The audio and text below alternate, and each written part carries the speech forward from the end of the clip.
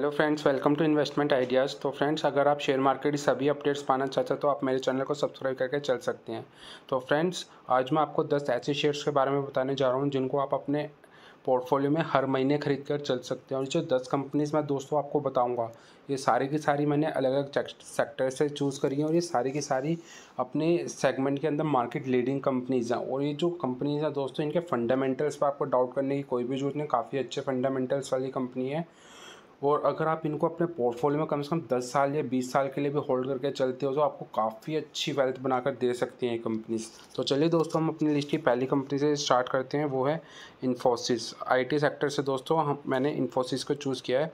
तो इन्फोसिस में, का बारे में आपको बताना चाहूँगा दोस्तों, ये मार्केट लीडर्स के अंदर आती है और इस, सब, अगर इसका पास्ट रिकॉर्ड देखोगे तो इन्फोसिस ने सारी आईटी कंपनीज़ के अगर हम कंपेयर करें तो काफ़ी अच्छा ग्रोथ रेट इसका हमें इन्फोसिस का देखने को मिलता है। अगर हम दोस्तों एक साल, अभी तो हमें थोड़ा सा करेक्शन में देखने को मिल रहा है दोस्तों इन्फोसिस का शेयर तो आप करंट लेवल पर भी थोड़ी बहुत क्वांटिटी बाय करके चल सकते हैं। तो दोस्तों अगर एक साल की बात करें तो एक साल में इन्फोसिस ने लगभग 18 परसेंट के बहुत ही शानदार रिटर्न्स निकाल के दिए हैं, जिसमें ये अभी हमें थोड़ा सा करेक्शन में ज़रूर देखने को मिल रहा है।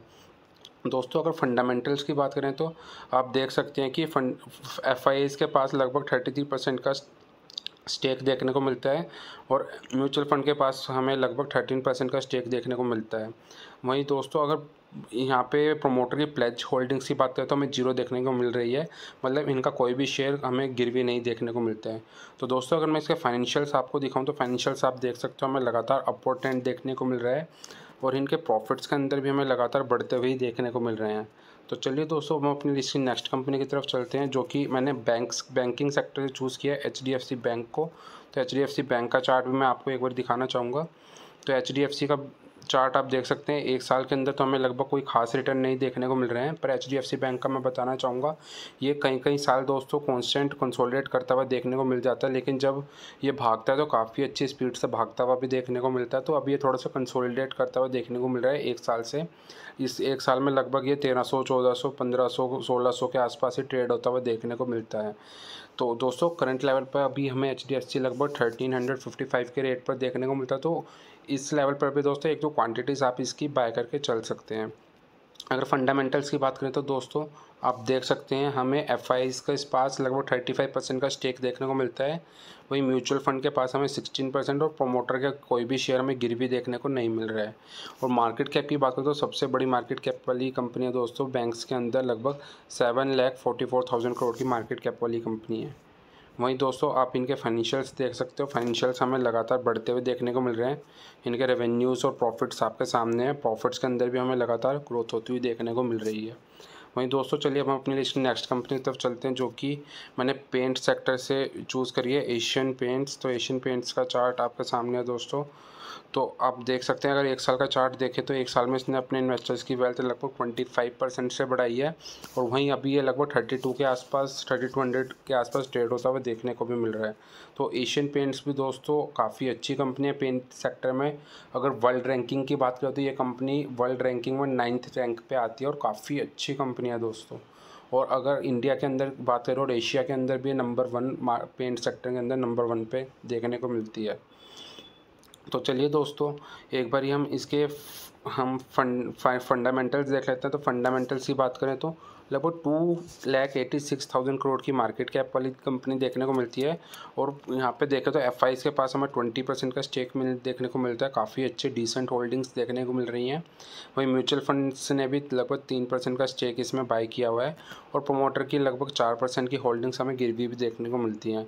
लेकिन दोस्तों, ये जिस सेगमेंट में काम करती है तो वहाँ पे इनको लोन्स वगैरह लेने पड़ते हैं और रॉ मटेरियल्स थोड़ा सा ये बल्क में बाय करके चलती हैं। इन फ्यूचर अगर जैसे इनको ज़रूरत पड़ती है तो ये अपने, वहाँ से अपने पैसे अरेंज कर लेती है। तो चलिए दोस्तों, अब हम इसके थोड़े से फाइनेंशियल्स देख लेते हैं। तो फाइनेंशियल्स आप देख सकते हैं, हमें लगातार रेवेन्यू ग्रोथ हो ग्रो करता हुआ देखने को मिल रहा है प्रॉफिट्स के अंदर भी हमें लगातार इम्प्रूवमेंट होती हुई देखने को मिलती है।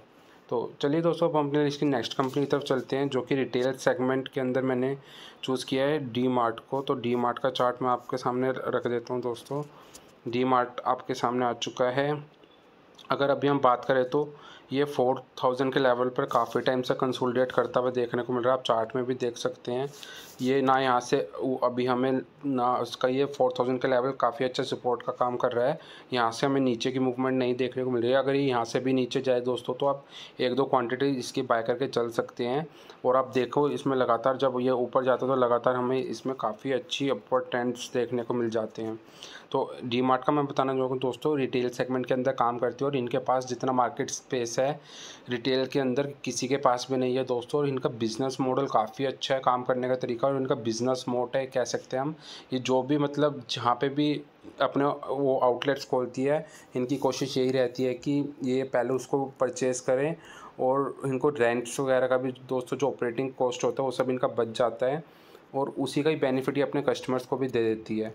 तो दोस्तों, इनका बिज़नेस मॉडल काफ़ी अच्छा है। डायरेक्ट मतलब कोई भी ब्रोकर नहीं आता जहाँ से ये सामान खरीदती है। डायरेक्ट जहाँ पे मैन्युफैक्चर होती है, वहीं से खरीदती है और डायरेक्ट अपने रिटेल स्टोर्स पर बेचती है।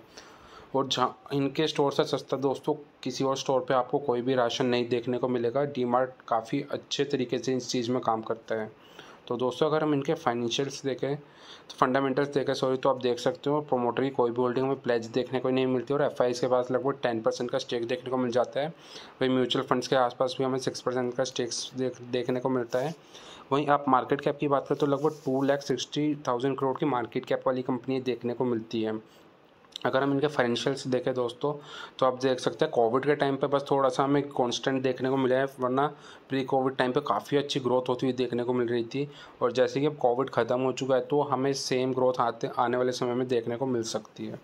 तो चलिए दोस्तों, हम अपनी लिस्ट की नेक्स्ट कंपनी की तरफ़ चलते हैं, जो कि है हमारी लिस्ट में पीडी लाइट तो पीडी लाइट का चार्ट मैं आपको दिखाना चाहूँगा। पी लाइट आप देख सकते हैं अगर एक साल की बात करें तो एक साल में इसने काफ़ी अच्छे रिटर्न निकाल के दिए लगभग थर्टी सिक्स परसेंट के। और अभी देखें तो लगभग हमें ट्वेंटी फोर हंड्रेड के आसपास ट्रेड होता हुआ भी देखने को मिलता है। वहीं दोस्तों, चलिए अब हम इनके फंडामेंटल्स देख लेते हैं। फंडामेंटल्स की बात करें तो एफ़ के पास लगभग बारह परसेंट का स्टेक देखने को मिल जाता है और म्यूचुअल फंड्स के पास फोर परसेंट का। और इनका भी शेयर दोस्तों कोई भी गिरवी नहीं देखने को मिलता है। और मार्केट कैप की बात करें तो लगभग one lakh eighteen thousand crore की मार्केट कैप वाली कंपनी है। अगर हम इनके रेवेन्यूज़ और प्रॉफिट्स देखें तो हमें रेवेन्यू के अंदर अभी 2019 से 21 तक देखें तो थोड़ा सा कम ग्रोथ होती हुई देखने को मिली है, लेकिन प्रॉफिट्स के अंदर हमें थोड़ी बहुत ग्रोथ होती हुई देखने को मिल रही है। रीज़न भी इनकी रॉ मटेरियल्स की कॉस्ट जैसे कि अब बढ़ चुके तो उनका इम्पैक्ट हमें अभी इस समय में देखने को मिलेगा।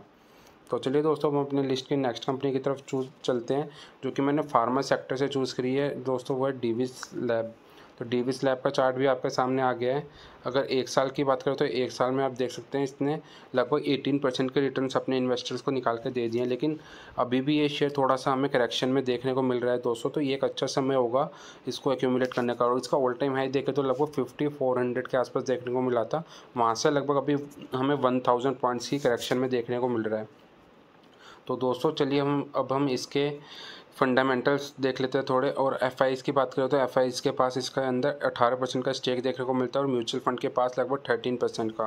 वही प्रमोटर का कोई भी शेयर हमें एज ए प्लेज नहीं देखने को मिलता है। वहीं मार्केट कैप की बात करें तो दोस्तों मार्केट कैप आप देख सकते हैं, लगभग वन लैख थाउज़ेंड करोड़ की मार्केट कैप वाली कंपनी है। वहीं अगर हम दोस्तों इनके फाइनेंशियल्स देखें तो फाइनेंशियल्स आप देख सकते हो। लगातार रेवेन्यूज़ हमें ग्रो करता हुआ देखने को मिलता है और प्रॉफिट्स भी काफ़ी अच्छे से ग्रो करते हुए देखने को मिल रहे हैं। तो चलिए दोस्तों अपनी लिस्ट की नेक्स्ट कंपनी की तरफ़ चलते हैं, जो कि है दोस्तों रिलैक्सो तो रिलैक्सो का चार्ट मैं आपको दिखाना चाहूँगा। रिलैक्सो का अगर एक साल की बात करते हैं, एक साल में इसने अपने इन्वेस्टर को लगभग ट्वेंटी फाइव परसेंट के रिटर्न निकाल के दिए हैं। अगर अभी भी अपने ऑल टाइम हाई से हमें थोड़ा सा करेक्शन में देखने को मिल रहा है, लगभग 1100 के आसपास अभी हमें ट्रेड होता हुआ देखने को मिल रहा है तो ये भी एक अच्छी कंपनी है दोस्तों अपने पोर्टफोलियो में ऐड करने के लिए।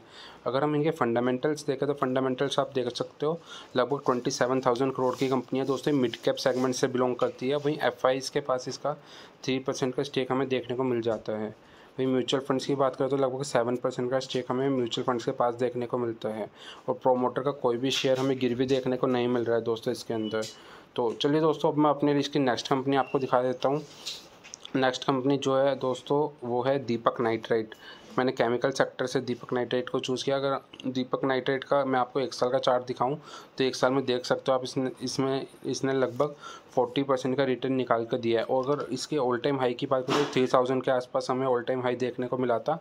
वहाँ से अभी काफ़ी अच्छी करेक्शन के अंदर देखने को मिल रहा है। लगभग साढ़े बाईस सौ, तेईस सौ की रेंज में देखने को मिलता है। तो दोस्तों, ये भी एक अच्छी कंपनी है अपने पोर्टफोलियो में ऐड करने के लिए। अगर इसके फंडामेंटल्स की बात करें तो फंडामेंटल्स आप देख सकते हो लगभग थर्टी थाउज़ेंड करोड़ की मार्केट कैप वाली कंपनी और एफ़ के पास लगभग एट परसेंट का स्टेक देखने को मिल जाता है। वही म्यूचुअल फंड के पास भी दोस्तों हमें इसमें लगभग सिक्स परसेंट का स्टेक देखने को मिलता है। और दोस्तों प्रोमोटर का कोई भी शेयर हमें प्लेज देखने को नहीं मिल रहा है। अगर हम इसका फाइनेंशियल्स देखें तो फाइनेंशियल्स आप देख सकते हो। प्री कोविड टाइम पे हमें लग, बड़ी अच्छी ग्रोथ देखने को मिल रही थी इन कंपनीज़ के अंदर। कोविड के टाइम पे बस थोड़ा सा कांस्टेंट ज़रूर देखने को मिला, लेकिन प्रॉफिट्स के अंदर सेम हमें ग्रोथ कंटिन्यूस देखने को मिल रही है। तो चलिए दोस्तों हम अपने लिस्ट की नेक्स्ट कंपनी की तरफ़ चलते हैं, जो कि है सी डी एस एल तो सी डी एस एल का चार्ट मैं आपको दिखा देता हूँ। तो सी डी एस एल का चार्ट आप देख सकते हैं। अगर एक साल की बात करें तो ये कंपनी लगातार हमें ग्रोथ करती हुई देखने को मिल जाती है और जहाँ पे सारे शेयर अभी हमें करेक्शन में देखने को मिल रहे हैं, ये हमें बहुत ही कम करेक्शन के अंदर देखने को मिल रही है। लगभग चौदह सौ के आसपास अभी ट्रेड करती हुई देखने को मिल रही है। और ऑल टाइम हाई की बात करें तो लगभग सत्रह सौ चौंतीस का ऑल टाइम हाई देखने को मिलता है। तो सी डी एस एल का मैं बताना चाहूँगा दोस्तों, जैसे जैसे लोग शेयर मार्केट के अंदर एंटर करेंगे तो इसका सीधा इम्पैक्ट हमें सी डी एस एल के अंदर देखने को मिल जाएगा। तो दोस्तों, इनके अंदर दो ही कंपनीज़ लिस्ट दो ही कंपनीज़ है एक सी डी एस एल और एन एस डी एल जो डिपॉजिटरी का काम करती है, लेकिन सबसे ज़्यादा मार्केट शेयर में बताना चाहूँगा, हमें सी डी एस एल के पास देखने को मिलता है। तो दोस्तों, एक बार हम इसके फंडामेंटल्स देख रहे थे फंडामेंटल्स देख, लगभग फोर्टीन फिफ्टीन थाउज़ेंड करोड़ की मार्केट कैप वाली कंपनी है।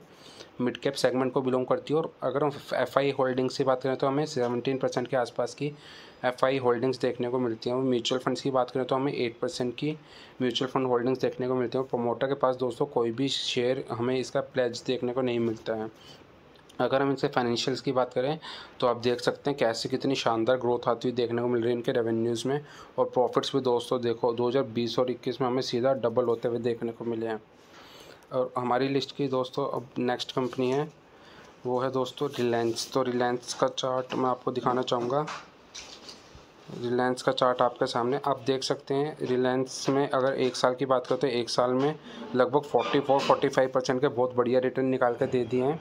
वहीं दोस्तों रिलायंस एक सब शेयर मार्केट में सबसे बड़ी कंपनी है, सबसे ज़्यादा मार्केट कैप वाली कंपनी है और रिलायंस एक डाइवर्स पोर्टफोलियो के अंदर काम करती है। इसके काफ़ी सारे हमें प्रोडक्ट पोर्टफोलियो देखने को मिल जाता है लाइक रिटेल के अंदर ऑयल ऑयल एंड गैस के अंदर और टेलीकॉम के अंदर और मीडिया के अंदर तो काफ़ी सारे सेगमेंट्स में काम करती है और मार्केट लीडिंग और काफ़ी अच्छी ग्रोथ देने वाली कंपनी है। तो ये भी दोस्तों राय रहेगी, आप हर महीने रिलायंस के अंदर एक दो क्वान्टिटीज़ बाय करके चल सकते हैं एज़ पर यूर बजट तो दोस्तों, अब हम इसके थोड़े से फंडामेंटल्स देख लेते हैं। फंडामेंटल्स की बात करें तो लगभग सेवनटीन लाख एटीन लाख करोड़ की मार्केट कैप वाली कंपनी देखने को मिलती है और एफ़ ने इसमें लगभग ट्वेंटी फाइव परसेंट का स्टेक बाय किया हुआ है। तो एफ़ आई होल्डिंग भी काफ़ी डिसेंट देखने को मिलती है। और म्यूचुअल फंड की बात करें तो लगभग फाइव परसेंट का स्टेक हमें म्यूचुअल फंड्स के बाद पास देखने को मिलता है और इनकी कोई भी होल्डिंग्स दोस्तों, हमें एज ए प्लेज देखने को नहीं मिलती है। मतलब कोई भी शेयर इनका गिर भी नहीं है। वहीं अगर हम इनके फाइनेंशियल स्टैंड की बात करें तो फाइनेंशियल स्टैंड थोड़ा सा इनका, जैसे कि मैंने बताया आपको प्रोडक्ट पोर्टफोलियो काफ़ी डाइवर्स है तो उस वजह से हमें थोड़ा सा हमें अप्स एंड डाउन्स देखने को मिल रहे हैं। और दो हज़ार बीस की बात करें तो एज जैसे कि हम जानते हैं कि कोविड के जैसे सारे ऑपरेशन इनके बंद थे तो उसी का इम्पैक्ट हमें इनके फाइनेंशियल्स में आते हुए देखने को मिला है। वरना अदरवाइज़ इनके प्री कोविड टाइम पे रेवेन्यूज ग्रोथ हो करते हुए देखने को मिल रहे थे। वहीं इनके प्रॉफिट्स के अंदर हमें कोई भी कमी आती हुई नहीं देखने को मिली इनके प्रॉफिट्स लगातार ग्रोथ होते हुए देखने को मिल रहे हैं। तो दोस्तों, ये भी एक अच्छी कंपनी होगी, अगर आप इसको हर महीने अपने पोर्टफोलियो में ऐड करके चलते हैं तो। तो दोस्तों, ये थे मेरी लिस्ट के दस शेयर जिनको आप हर महीने बाय करके चल सकते हैं, इनमें एसआईपी करके चल सकते हैं। तो इनमें कोई भी दिक्कत नहीं है दोस्तों, सारी की सारी मार्केट लीडिंग कंपनीज़ हैं ये। और आपको अगर आप कम से कम इसको आने वाले पाँच या दस सालों के लिए होल्ड करें तो काफ़ी अच्छी वेल्थ बनाकर दे सकते हैं। तो दोस्तों, अगर आपको ये वीडियो पसंद है तो प्लीज़ वीडियो को लाइक ज़रूर करें और आप कमेंट करके मेरे को बताएँ आपके पास ये शेयर है या नहीं। थैंक यू दोस्तों।